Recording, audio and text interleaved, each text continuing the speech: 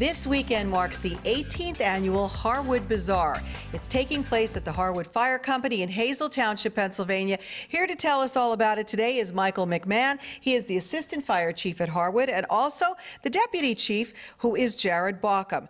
Jared, I'm going to start with you. Why is this bazaar so important to the local fire company? Uh, the reason why this bazaar is so important is uh, this is what helps us with our daily operations for you know making it through the year, uh, the funds and stuff like that to purchase fire equipment and stuff like that. Um, without this bazaar, we'd pretty much you know the fire company wouldn't be able to stay open. We would have to uh, close our doors. Wow, so this is really crucial. And it's a three day long event and it's jam packed. Yes, uh, it's a three-day event. It's a Friday, Saturday, Sunday. Um, pretty much, yeah, we, we get a lot of people in a small area. Absolutely, a lot of people. So we want to find out what all the people are coming for, Mike. So you're going to tell us what's happening with the kickoff first on Friday? Yes, on Friday night, we start off about uh, 4, 4.30 p.m., and uh, we have all of our food, which is what a lot of people come to our Fire Company Bazaar for.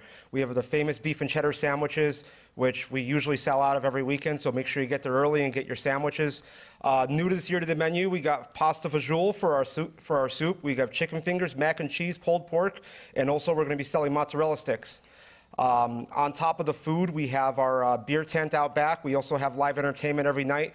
Friday night, we have uh, Cartoon, the band, and then we have Tommy Guns on Saturday night, followed directly by DJ Ray playing from 11 p.m. till 2 a.m. So if you want to come and spend the entire night with us on Saturday, that's perfectly a great possibility.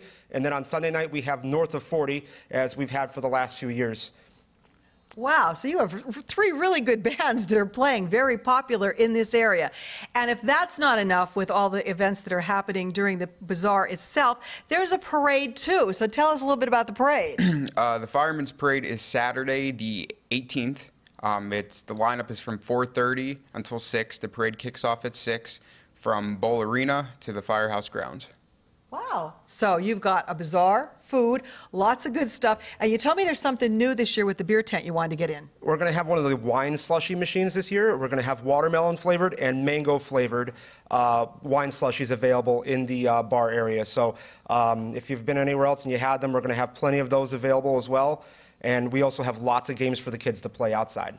All right, you heard it all here. A big weekend coming up this weekend in Harwood. It is the 18th annual Harwood Bazaar benefiting the Harwood Fire Company. They hope to see you there.